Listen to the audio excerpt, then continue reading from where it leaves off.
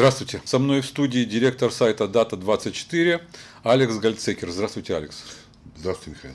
Разбирать мы будем известное дело Задорова. Я напомню тем, кто не в курсе, Роман Задоров, израильтянин, который приехал сюда много лет, уже, уже сегодня, теперь уже много лет назад, был обвинен в убийстве кацринской школьницы Таир Рада и приговорен к пожизненному заключению, отсидел уже почти 10 лет. Все апелляции, которые подавали за эти годы его адвокаты, были отклонены, и суды один за другим подтверждали первоначальный приговор пожизненное заключение за убийство. Тем не менее, сомнений в этом деле появлялось с каждым годом все больше и больше. И, наконец, появился фильм «Тень правды», который послужил причиной очередного скандала. Вот с этой точки мы и начнем. Речь идет, как вы знаете, о четырехсерийном фильме «Тень правды», из-за которого разразился ну, практически судейский скандал. Э, я не буду сейчас пересказывать, в чем суть дела. В интернете многие могут найти информацию, которая была в этом фильме. Суть в главном, что на конференции коллегии адвокатов в Эйлате, судья Данцигер, судья Высшего суда справедливости Верховного суда, который был единственным на последнем процессе высказал свое сомнение в виновности Романа Задорова, вновь сказал, что он сомневается в этом приговоре, и больше того, он считает, что есть в таких делах об убийстве нужно единогласное решение судей. Ну и, как говорится, что называется, понеслось. Ваша точка зрения по этому поводу? Ну, во-первых, давайте действительно вспомним, на основании чего э, Роман Задоров находится в тюрьме. Коллегия из трех судей принимала решение. Двое э, высказались, так сказать, в пользу приговора о пожизненном заключении. Судья Данцигер был в меньшинстве, он был один судья, который против двух, а, который усомнился в том, что э, Роман Задоров был убийца. Дело в том, что для того, чтобы осудить человека за убийство на пожизненное заключение, по израильскому законодательству нужно доказать вне всякого сомнения в том, что он виновен. Так вот, двое из трех судей были убеждены, что есть доказательства, которые вне всякого сомнения, миалли коль сафек, то, что называется в Израиле, а, Роман Задоров виновен в этом убийстве. Судья Данцигер был в меньшинстве, он был против. Если бы еще один судья согласился с его мнением, Роман Задоров сегодня находился. То есть, если было бы расширено заседание, допустим, из пяти судей? Да даже если из этих троих кто-то один бы решил, да. решил точно так же, как Данцигер, что у него есть сомнения, Роман Задоров сегодня находился бы дома с семьей. Это вот, вот на этом уровне, так часто очень у нас бывает, именно по этой же причине, кстати, Муше Кацав тоже находится в тюрьме. Точно так же двое из трех судей были просто, поверили скорее женщине, которая, которую он изнасиловал, а не ему, одна судья, женщина тоже, кстати. Э, поверила Муша Кацаву. Если бы было обратно, Муша Кацав досидел бы свою каденцию на, на посту э, президента Израиля. А не находился бы до сих пор в тюрьме. И не находился бы в тюрьме. Ну, вернемся к Роману Задорову. Да. Э, что произошло здесь? Я очень много читал, и, и обвинительное заключение, и все приговоры всех судов, которые были, был возобновлен суд, это был второй повторный суд. Э, с одной стороны, доказательства, которые были предъявлены против так сказать, Романа Задорова, они весьма существенны. То есть нельзя сказать, что так сказать, была проделана какая-то поверхностная работа, и, э, и судьи вынесли приговор, скажем так, легкомысленный. Есть две вещи, которые очень сильно работают против Романа Задорова. Во-первых, его признание подсадной утки да, в камере. Если внимательно это посмотреть, он абсолютно искренне признается там в этом убийстве. Это происходит на русском языке, поэтому в интернете тоже полно версий этого видео. Э, телезрители ваши, если захотят, тоже посмотрят. Да, они могут посмотреть. Очень удобно. Он очень достоверно, очень подробно описывает то, как было совершено это убийство, включая причины, так сказать, по которым он это сделал и так далее, на русском родном ему языке, не на иврите, э, где что-то можно было бы заподозрить. А второе, естественно, так сказать, э, то, что он знал досконально во время, так сказать, в процесса реконструкции событий, то, что называется Шикзур, а, он абсолютно точно э, показал, как он, так сказать, выбирался из кабинки, те вещи, которые были известны, скорее всего, лишь только убийце. Э, ну, наверное, можно было предположить, да, что вот именно так убийца выбирался из закрытой кабинки, но неважно. Тем не менее, это, это очень веские доказательства в пользу того, что он виноват. С одной стороны. С другой стороны, прокуратура игнорировала, практически игнорировала очень много версий, которые появлялись э, на, том, на том или ином этапе судебного процесса и до, суде, до, до начала суда, В том числе и версия, которая сегодня всплыла в результате вот этого документального фильма о девушке, которую, имя которой не называют, ее значит, везде э, она фигурирует под именем Алиф Куф, АК назовем, а, русского происхождения тоже, кстати говоря, э, которая рассказала своему э, сожителю э, сразу после убийства о том, что она это убийство совершила. Эта версия была проигнорирована, и прокурор, который вел это дело, он уже прокомментировал, точно так же проигнорирована, как десятки других версий, которые появлялись у, у прокуратуры. Люди, которые звонили, сообщали о том, что они знают, кто на самом деле убил, э, писали письма и так далее и тому подобное. Э, вот тут, вот тут моя точка зрения. Да, на самом деле халтура, потому что э, я видел фильм. Да, это очень серьезная работа с точки зрения, так сказать, документальной журналистики. Вот этот фильм «Тень правды», в котором высказывается эта версия. Совершенно верно. Уж очень серьезно все проверено там. И э, молодой человек, который описывает эти события, э, да, безусловно, у него есть какой-то интерес. Он э, мог, так сказать, э, мстить своей бывшей сожительнице за то, что она с ним рассталась. Но на этом примерно его интерес заканчивается. И уж точно следовало, следовало это проверить более досконально, чем это сделала полиция и прокуратура на тот момент. И насколько известно, извините, я вас перебью, что этот молодой человек трижды прошел э, полиграф. Детектор лжи. И, и трижды и, был положительный результат. Совершенно что верно. он говорит правду. Это уже, так сказать, произошло потом. Да? А на момент, когда э, человек, что называется, бил тревогу и говорил, сидит не тот человек, к его версии отнеслись очень халтурно. То есть э, не стали проверять. И объяснение, которое сегодня дает прокурор, у нас таких было тут десятки. Угу. Вот. Он, при этом у нас был обвиняемый, вина которого практически доказана. И с нашей точки зрения, говорит прокурор, Роман Задоров убийца. Поэтому все остальные версии мы просто не стали так подробно проверять. Хотя, судя по фильму, как раз очень подробно прессовали, что называется, этого молодого человека, для того, чтобы он отказался от своих показаний, чтобы в деле ничего не мешало. То есть, говорили, ты пойдешь как соучастник, ты понимаешь, да, то есть оказано на него определенное давление. Это запротоколировано, это записано, и это в фильме тоже показано все. То есть следователи прокуратуры и полиции давили на него, объясняли, что если она будет обви... А, если ее обвинят, его подругу, в убийстве, он пойдет как соучастник. Он говорил, да, я это понимаю, я готов на это, я к этому готов. И совершенно спокойно, как бы дальше продолжал. Да, у, еще раз говорю, у него есть интерес, но его версию нужно было проверить. Сейчас еще не поздно. То есть лучше позже, чем никогда на самом деле провер... вернуться к, к проверке этой версии, потому что уж очень она достоверна. То есть и телефонный звонок, который был сразу после убийства от подруги к этому молодому человеку зафиксирован, что такой телефонный звонок был. Неизвестно, что она ему сказала, то есть мы, мы знаем, да. что, что, что было в этом телефонном звонке с его слов. Но она конкретно, он, ну, эта история мне не выглядит как выдуманная, понимаете? Э, есть то, что называется такая вот проверка на достоверность, да, то есть я видел этого молодого человека в фильме. Да, он не вызывает у меня сомнений в том, что он... Э, что он это не придумал. Что он не выдумал эту историю. Э, у меня, во всяком случае. Безусловно, у судей, у прокуроров может быть другое мнение, но мне кажется, что его версия заслуживает внимания. Это не сумасшедший, который позвонил и придумал историю с таким количеством деталей. Уж очень много деталей было в этой истории, которые оказались правдой. Что касается его подруги, то там совсем все интересно. То есть какие-то ну, на, на грани мистики, что ли, события, которые с ней связаны, а, и ее, так сказать, сожительница, забегая вперед, да, да. скажем, она была признана по совершенно другому делу а, человеком психически неуравновешенным и находится до сих пор в, в клинике для душевнобольных. Ее сожительница в этой клинике покончила жизнь самоубийством. Подруга этой сожительницы, которая готова была давать показания в прокуратуре, да а в фильме фигурирует только короткий телефонный разговор с ней, потому что на следующий день она покончила жизнь самоубийством.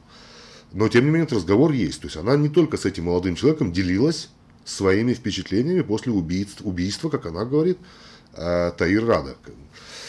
Э, ну, если тогда это не удостоилось внимания, то сейчас, после того, как представлена полная картина, представлена всей стране на самом деле, я думаю, что прокуратура будет вынуждена возобновить э, расследование э, и провести, провести его повторно, хотя бы в, во всем, что касается вот этой версии. Вот этой версии. Другой вопрос, э, с несколько другой стороны я хотел бы подойти к этому делу, не вдаваясь в подробности, потому что, естественно, мы не, мы не знаем всех подробностей следствия и не можем не кажется ли вам, что вот все вот эти вот мелкие нюансы, о которых вы сейчас говорили, я не буду их перечислять, по сути дела, подрывают у людей веру в справедливость этого приговора. Я не говорю его правильность или неправильность. Понятно, что всегда будет кто-то согласен, кто-то не согласен с приговором. Но у людей должно, на мой взгляд, оставаться ощущение справедливости происходящего в судебной системе. Вот сегодня, особенно после выступления судьи Данцигера, которая ну, просто поразила всех. Я беседовал со многими юристами, они говорят, что это просто кризис судебной системы назревает из-за этого дела. У вас нет ощущения, что приговор был несправедливым, по сути дела?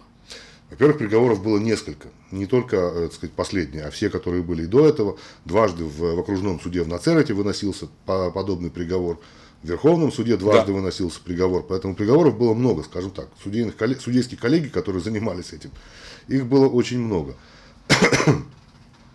Я когда-то брал интервью у в прошлом судьи Верховного суда, Далия Дорнер ее зовут. Она уже давно на пенсии, но она считается таким, одним из столпов израильской судебной системы. В частности, мы говорили о смертной казни.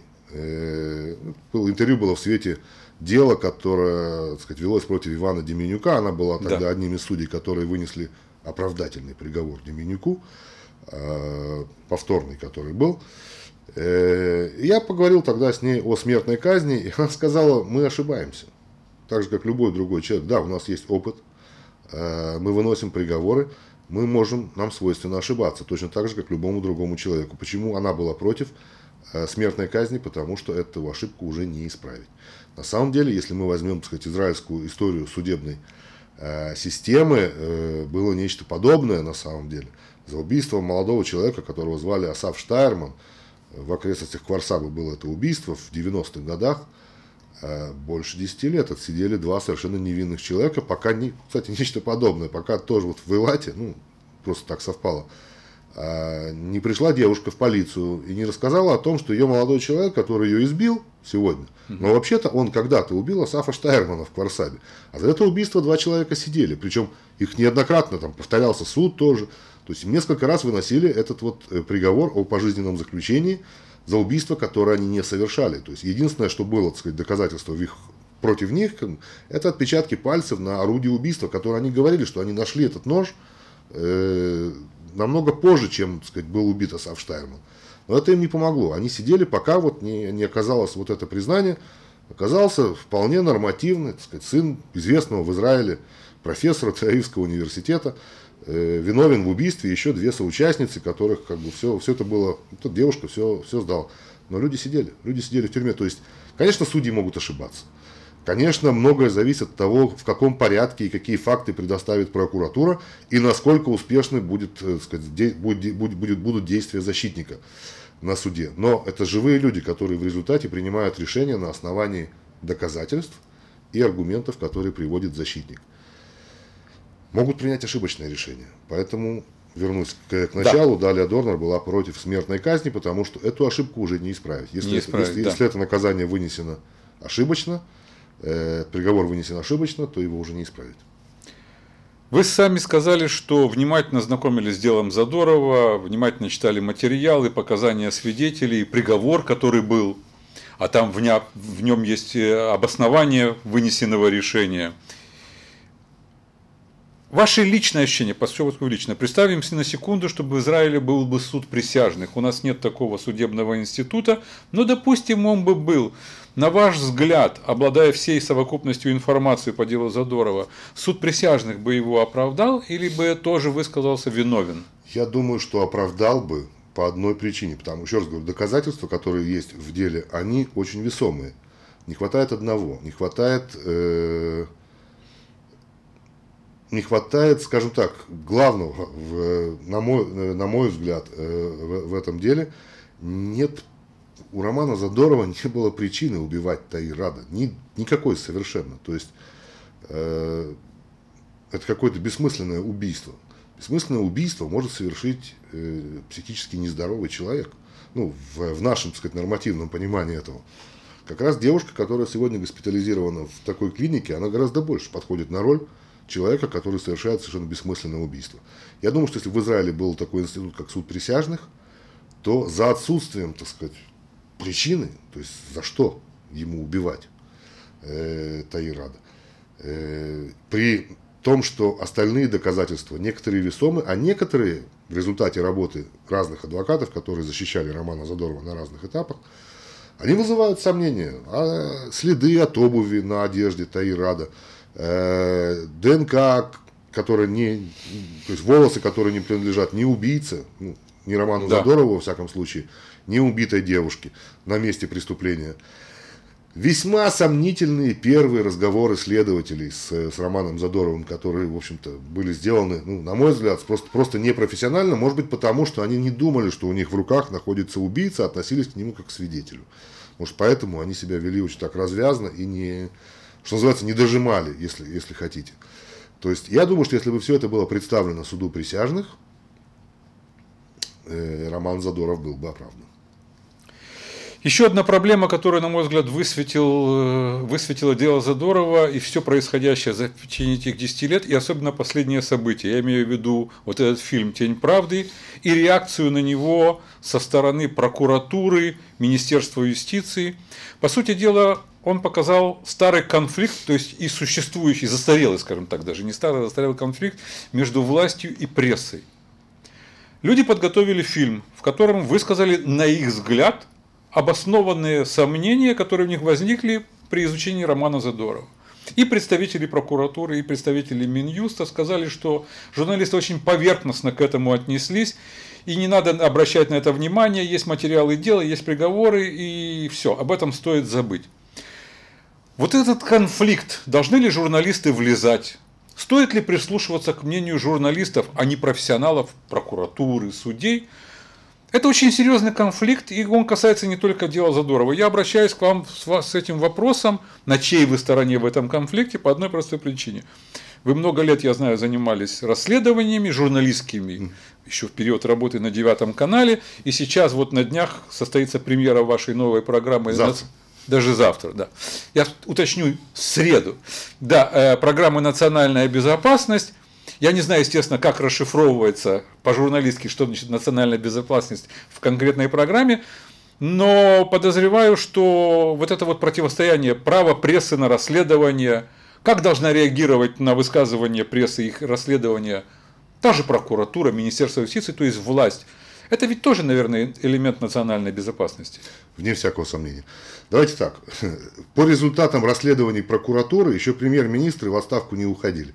Все, что в Израиле э, так сказать, скрывалось когда-либо, э, э, скрывалось, все начиналось с журналистских расследований. Если мы вспомним, все, что было. Ицхак Рабин ушел в отставку да.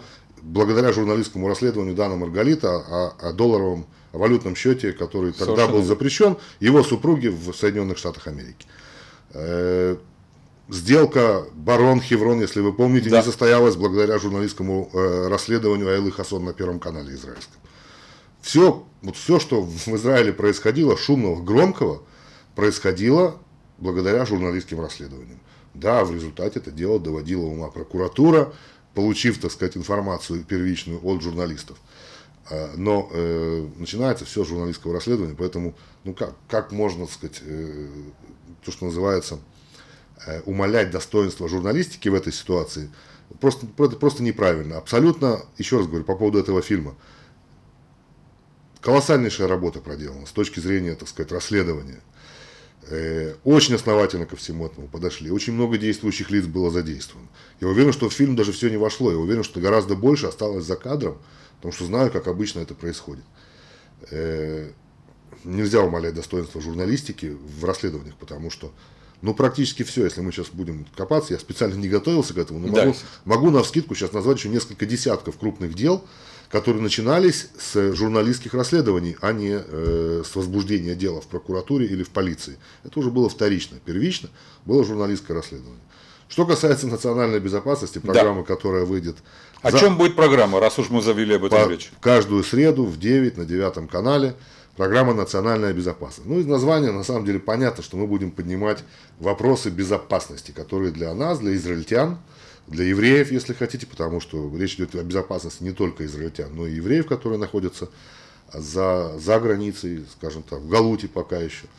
Вот. Э, будем поднимать именно эти вопросы. Ну, в частности, скажем, завтрашняя программа, она будет посвящена двум основным темам. Первое – это дело солдата, который стрелял в Хевроне. Мы в этой студии неоднократно Да, на прошлой неделе как раз мы обсуждали. Я попытался провести некую историческую перспективу, так сказать, этого события с событиями подобного рода, которые происходили в стране раньше, э, как к этому относилось государство, как к этому относились граждане Израиля, э, как себя вели э, сказать, руководители государства и руководители армии в этих ситуациях.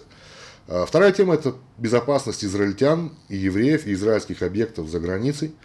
Ну, в свете, так сказать, последних э, терактов, которые были в Турции, то, что происходило в Европе, а, плюс э, человек, который пытался организовать несколько терактов против израильтян в Украине, которого, да. которого задержали по наводке украинских спецслужб здесь у нас на э, границе с Иорданией. Э, и постоянная рубрика, на самом деле, мы будем, если хотите, так, отдавать честь, что называется, а, достижениям израильских служб безопасности и армии, которые проводили различные операции вот в эту конкретную неделю, может быть, много лет назад, скажем, завтра, мы рассказываем о нескольких военных операциях. Одна из них – это операция, которая была в 1948 году, последняя в 2012. То есть, То есть своеобразная папка-архив. Папка-архив, совершенно верно. Просто вот будем отдавать честь людям, которые, так сказать, э, сделали все для того, чтобы мы сегодня спокойно беседовали в, в этой студии. Ну что ж, с премьерой вас, удачи вашей программе. Спасибо. Всего доброго. Я напомню, что со мной в студии был директор сайта Data24 Алекс Гальцикер. Всего доброго.